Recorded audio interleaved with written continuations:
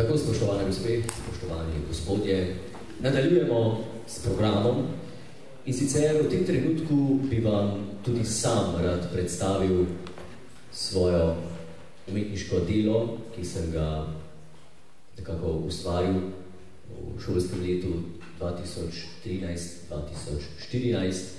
Naj povem, da sem tudi sam glasbenik, ukvarjam se z glasbo in posnel sem pred kratkim, oziroma dokončno sem posnel, ustvaril svoj novi album, eh, ki vsebuje tudi nekaj eksperimentalne glasbe in bi vam rad to v tem trenutku predstavil, če dovolite seveda. Lahko.